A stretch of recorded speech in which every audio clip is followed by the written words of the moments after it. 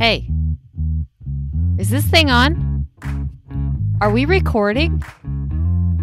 Can I get a tech person? Oh, for the love of ed tech.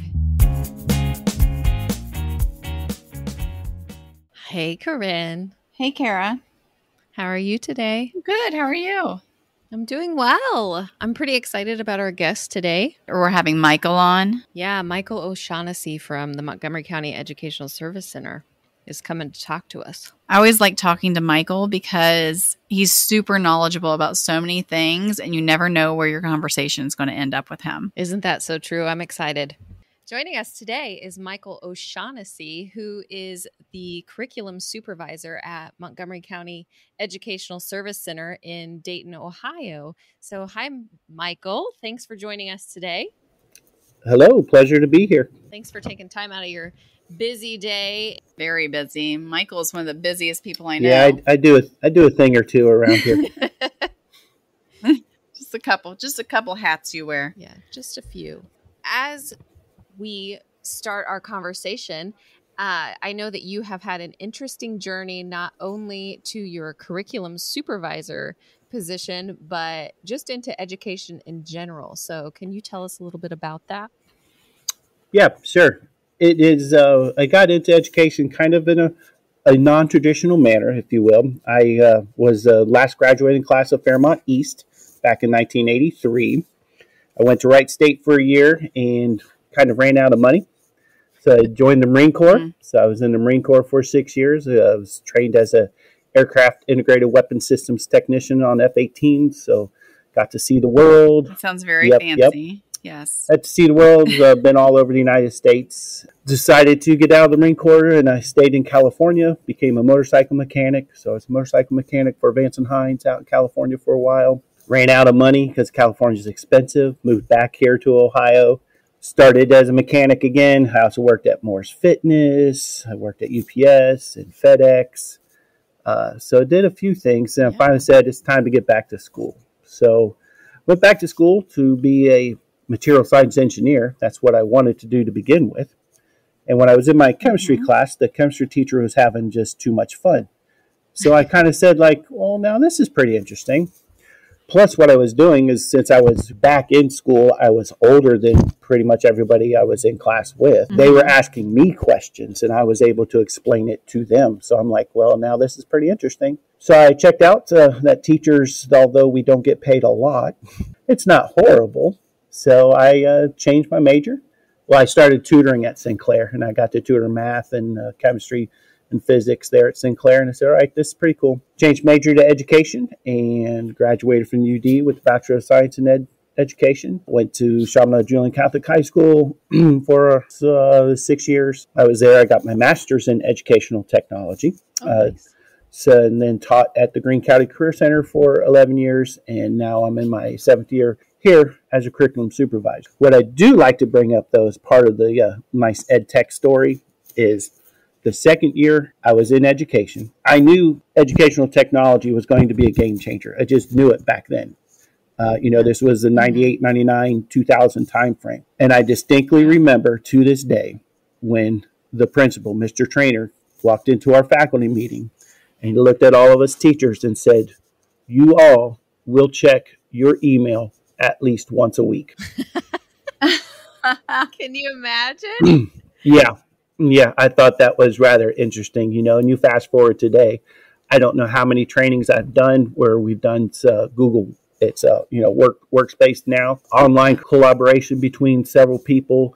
I'm doing those trainings, talking about Google Forms, collecting data really easy, Google Sites, people making websites. I mean, back in the day, you had to know HTML coding to be able to get a web page up. Now it's click, click, done. And now you have you know an e-commerce site up. So so i like yeah. to say i tell people i have like eight email accounts that i have to keep track of. And if i mm. didn't have my phone mm-hmm. i couldn't do my job. Yeah isn't that isn't that mm-hmm. wild? The truth. And now you just constantly are connected in your hand. Yep. No matter where you go. Because i remember you know when your phone the thing i loved to do was just play snake you had games. Yes, yes, I remember that. I remember back oh when gosh. I had my uh, Nokia phone that I had to have two external batteries because the phone would only last two and a half hours. My first phone was a Motorola and it was bright yellow and it was really cool because you could use it as a walkie talkie. I think I looked like I worked at a construction Yes. site. Yes. And my, my dad would only use the walkie talkie feature. So we'd be in like the grocery store, like in Kroger, and you hear this, "Biddup. what are you doing? My father in law was the same way. It's like, We've Come come, a on. long way. yes, Oh yes, yes, we have. It's amazing. That's hilarious. I want to go back just because I'm intrigued a little bit with Mhm. the uh, material. Mhm. what was it? Materials- material science. Material Materials. science engineering. Yeah. I- What? what is that? Well, and like, what? What did you want to do with that? Oh, well, Like, what was um, your thought? I guess. I thought what was really cool about material science engineering, and I still think it's really cool, is the fact that material science engineers have to be very good at all areas of science. It's, it involves chemistry, physics, uh, and obviously math too. But at the time when I was graduating in '83, uh, composites, Mhm. Carbon fiber panels, and things like that Mhm. for cars were just coming into existence. And I said, you know, this is another thing. I'm like, this is the future. And if you look now, uh, what Tesla's all carbon fiber, I believe, their cars, SpaceX, the rocket, all the different materials that are Mhm. involved with those. So would have been a pretty good material science engineer. You would have been good at that for sure. I haven't worked for oh 24 years because what I do is way too much fun. Can't call this work. Mm-hmm. That's fantastic. Yeah. So, and when you taught, when you first taught, tell me what were you teaching? hmm Obviously, it was science, but Yes. or math.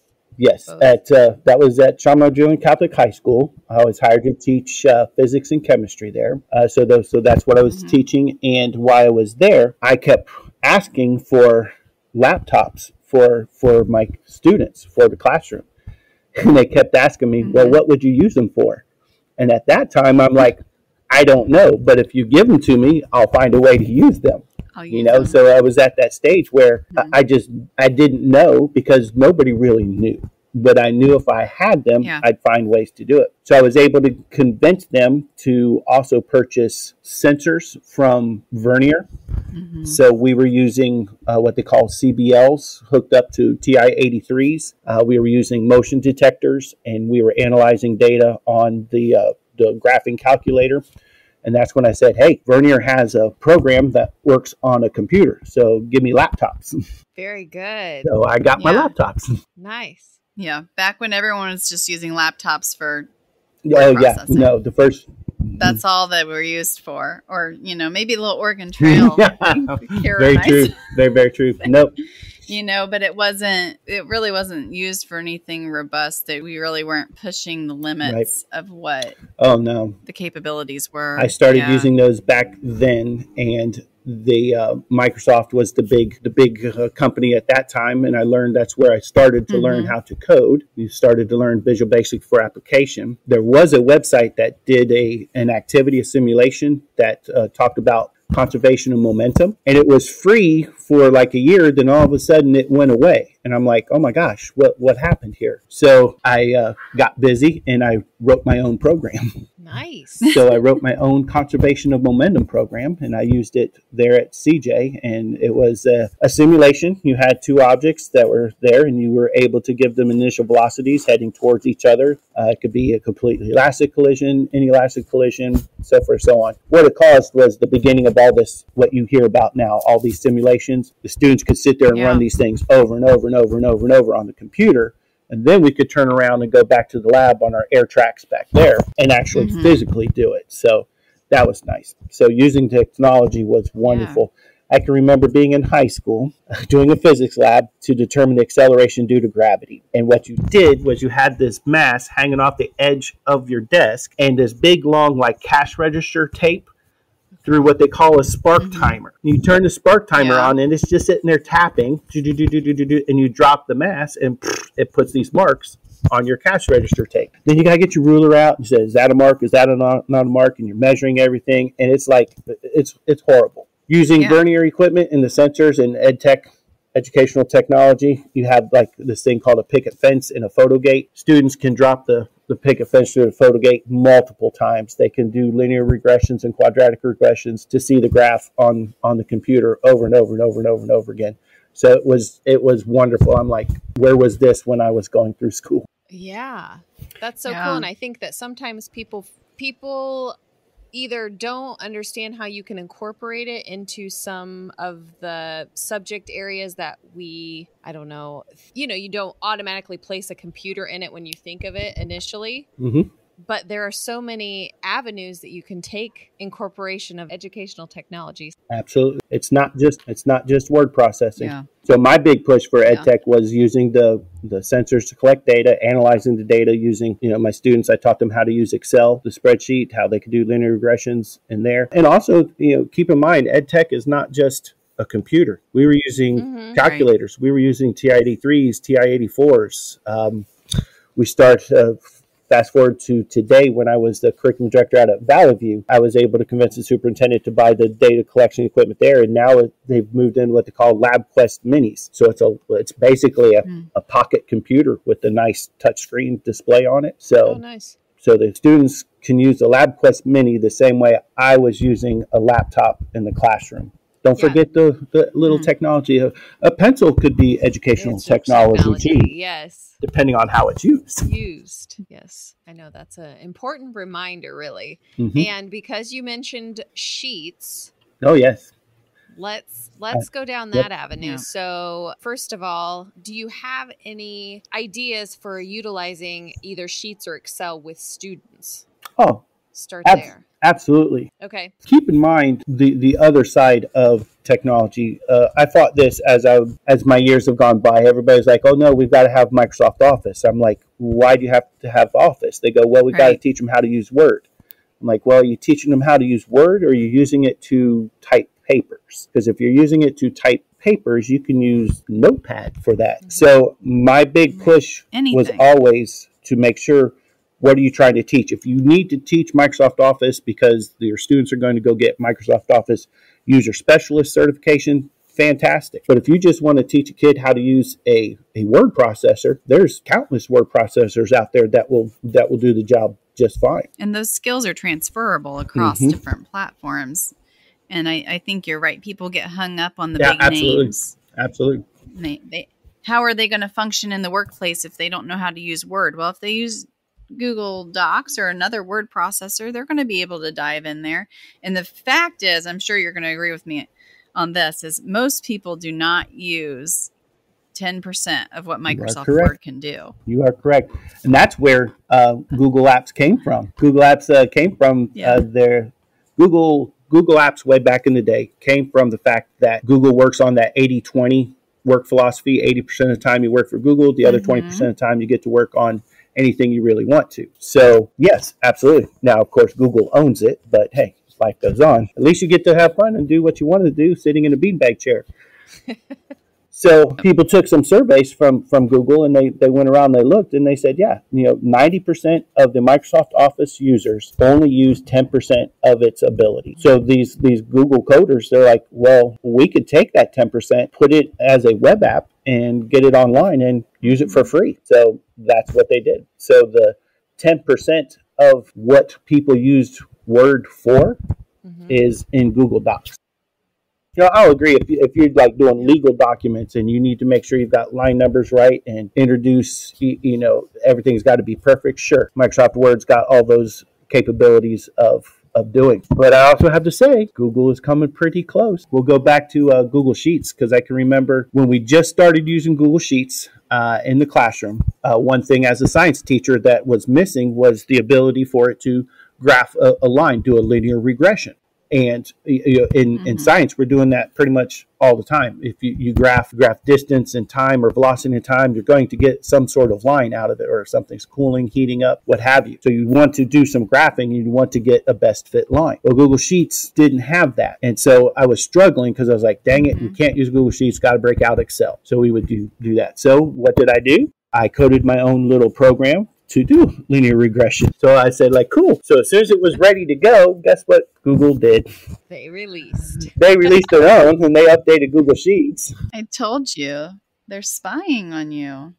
We're convinced they've got our offices bugged. That happens to us all the time. I mean, we're not building programs, but we're like, it would be really nice if it did this, it and is. then magically, Yep, yep, yep. there it is.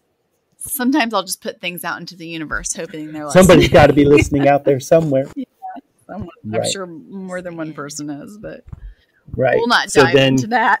so as as Google Sheets has gone on, it has grown into some uh, to it, it rivals Excel. So far, uh, most Excel users that I've run into, anything that they say, "Well, Google Sheets can't do this," I'm like, um, yeah, yeah, it can. Here you go. Let me show It you how it can. can be done. Yeah. So, what would you say to teachers who are very hesitant about spreadsheets? Because we've done spreadsheet training for years, and I always tell people there's there's always just a handful of like spreadsheet people in the training, and everyone else is borderline terrified of spreadsheets. So, what would you say to those teachers that feel like they don't have a use for a spreadsheet, or maybe they're they're not going to be able to use spreadsheets to help them? Right. I mean, do you have any advice? Yes.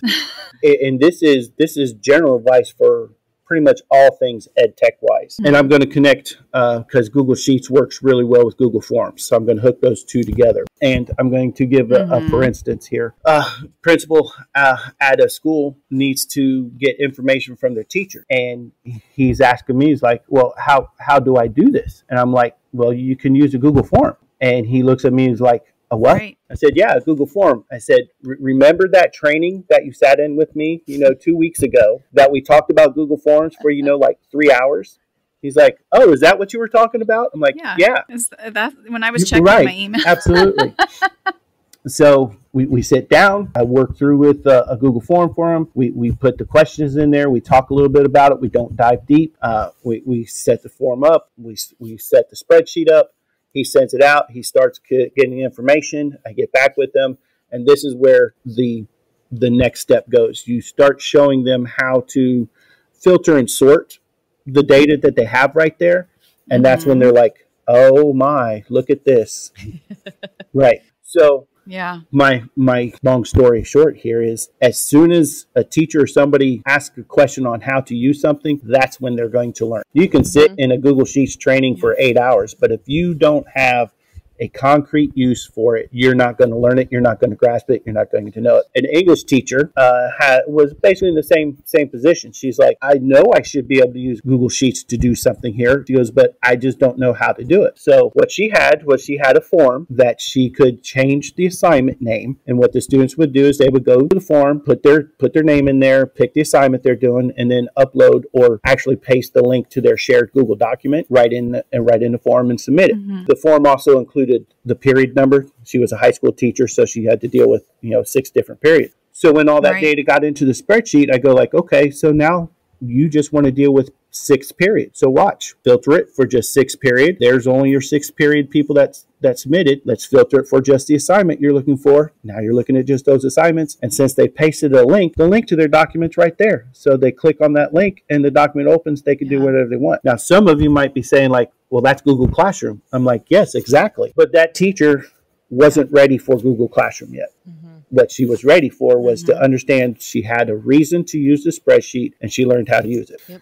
And just to finish up with the the uh, principal that I had talked about, he became a uh, form monster. It seemed about every other week he had a form Yeah. going out to the teachers asking questions. That's great. Yeah, Mhm. Forms are addictive. We always say that's Mhm. like the gateway application. If you're if you're hesitant Yep. about getting started with Google Workspace, I guarantee that you have a use for forms. Especially now because for all the the, the teachers in the state of Ohio, part of your evaluation is based on data and how you use data in the classroom to inform your decision. Mhm. So if you have Google Forms set up for like a you know an entry ticket or an exit ticket, Mhm. uh, I Mhm. I say do it as an entry ticket. Have three questions about what you talked Yeah. about yesterday, right? Have it on there. Why the kids are coming in, they know they Mhm. got to log in. They know their forms right there. They answer those questions. While you're doing that boring stuff and the administrative part of teaching, like who's here, who's not here, who's getting lunch, who's not getting lunch, so forth and so on. They're answering Yeah. those questions, and then when you're ready to start your lesson for the day, you can bring up that Google form and you can look at the the charts that they have.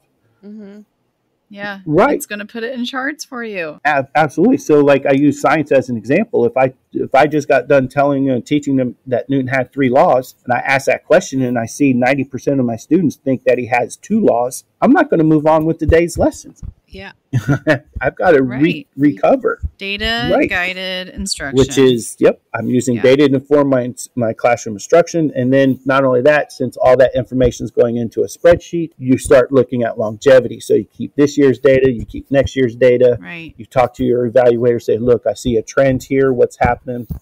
And it's Yeah. just, just like that. So you Mhm. start becoming a data analyst, whether Uh-huh. you like it or not, you will, Yeah. but it's not that difficult. So the advice, find that one project that you, that you need and then find the tool and learn it because now you have a purpose and you're going to learn it, learn it well. Let sheets work for you. Like Mhm. it's a it's a workhorse. I mean, we don't we're not big on using technology just for the sake of using technology. You know, we want to use technology to help you solve a problem, help you make your life easier to, you know, like improve instruction, drive change in your classroom.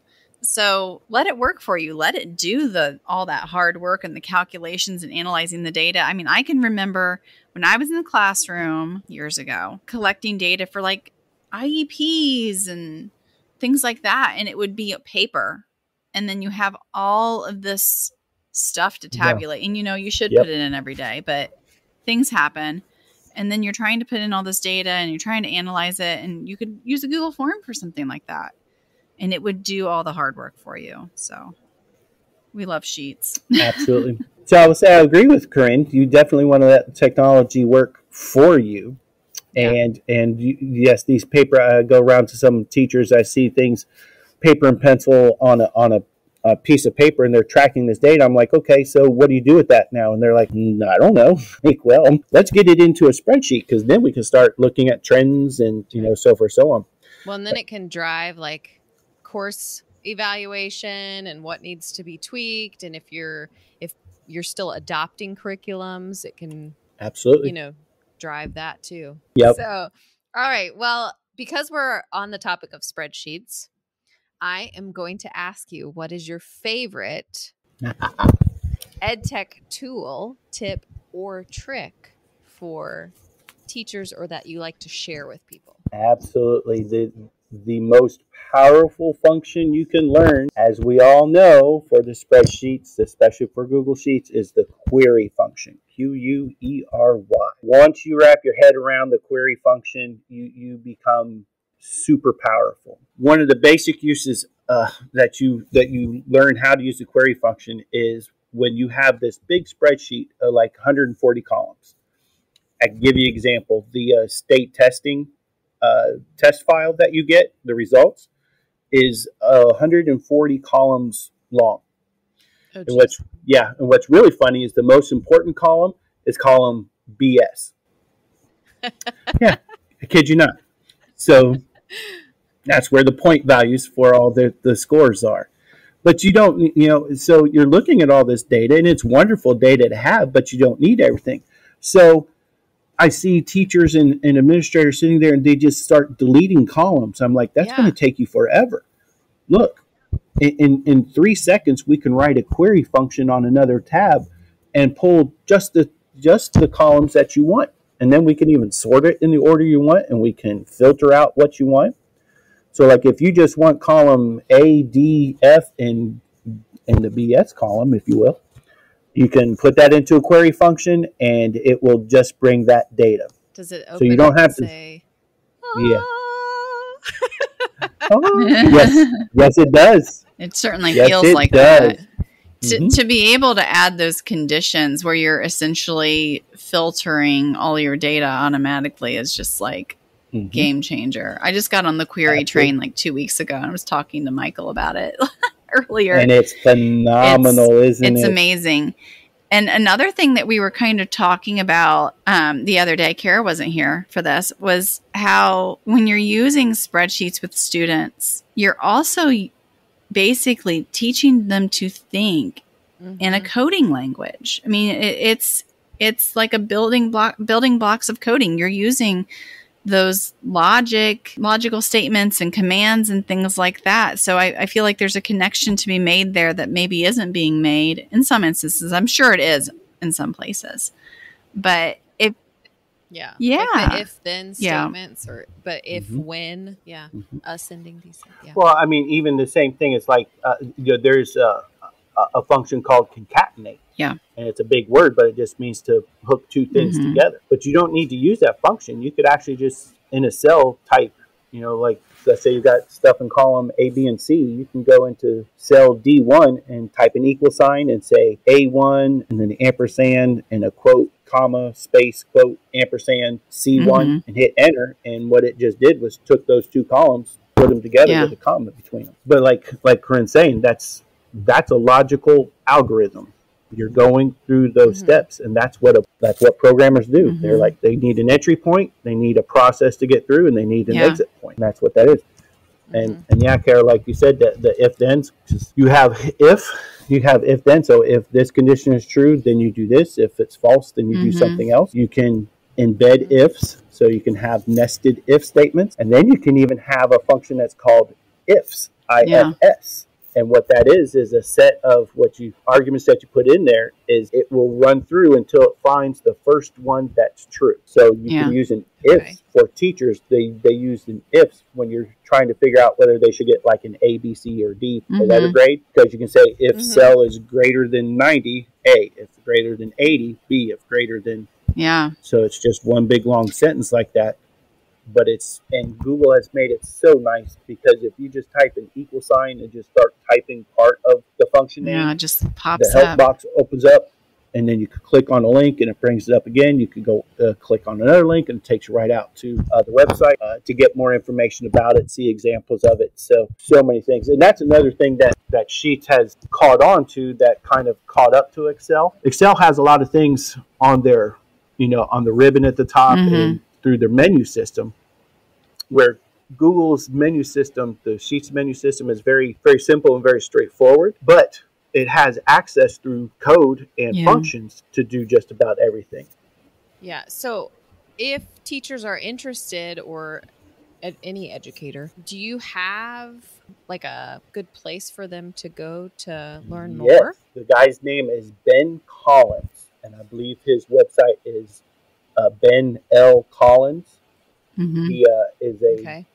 it's what he does. He teaches spreadsheets. Uh, he does talk about Google Apps script coding. His website is wonderful. He uh, has a weekly email that has uh, a tip on what you could use spreadsheets for. Some of them are really useful, some of them aren't. Uh, his explanations are, are really good. But like I said, you have to search for Ben L. Collins Yeah. because I think Ben Collins is a race car driver. We'll put it in the show notes. yes. Yeah, and I'm trying to think. He may actually be the video that I watched about query. It's possible. Yeah. Yep. He's think, one of the first um, ones that Yeah. comes up when you start Googling spreadsheet help. Yep, Ben L. Collins is is is very. Like I said, his explanations are great. It, it almost I, I don't know, but he may have have been a teacher in the past because as he explains things, he explains them very well, very very well organized. Mm. Lots of examples, uh, and he steps you through. Uh, he was the uh, founder of a convention called SheetsCon, and I thought it was Oh, phenomenal. Uh, COVID year, it didn't happen, but the year before that, he just put it out there. He goes like, "Well, we're going to try to do this," and it, it was Wow. amazing. Uh, it was all online. So before everybody thought online stuff was the thing, everything was all Yeah. online. What what happened was there were so many people trying to join that the host company that he was using to host Ugh. the conference was crashing oh wow. uh, you know, he thought there may be, you know, like two, three thousand. Uh-uh. There were like twenty-five to thirty thousand people. Wow. He underestimated the love for spreadsheets, apparently. Alice Keeler was one of the speakers at Mhm. SheetsCon. Uh, a couple other high high-level coders were there. Ben spoke uh, about a couple topics. It was just, it was really, really, really cool. So I was kind of sad that he didn't have yeah. didn't have one during the COVID Yeah. year, but he just figured that he couldn't put it all together Yeah. in time to do it justice. Something to keep an eye Yeah. on in the future, though, for sure. Yep. If you ever hear about Sheets SheetsCon, it was a wonderful experience. I, I have I have the T-shirt for that. Too. oh Oh, my love it. gosh. Yep. And we mentioned Alice Keeler. Alice Keeler is another person in general that we we kind of talk about. If you ever see anything from Alice Keeler, hmm it, you know it's going to be some good stuff. Great resource for teachers because Mhm. most of her stuff is designed specifically for teachers to use in the classroom. Right. Yeah. Absolutely. Because she's still she's still in the classroom. Right. So I think that's great. Everything that she talks about, she's She's doing it. she does. Mm-hmm. Yeah, right. She's using it in her classroom. And then Eric Curts. Mm-hmm. Eric Yeah, Curts we know. Eric. yes. He's another one. If you see some from him, it's it's good.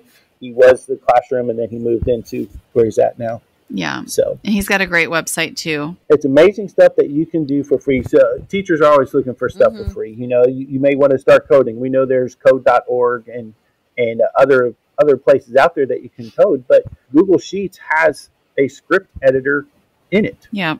and you can easily start doing coding right there out of Google Sheets, and it's free. Yeah.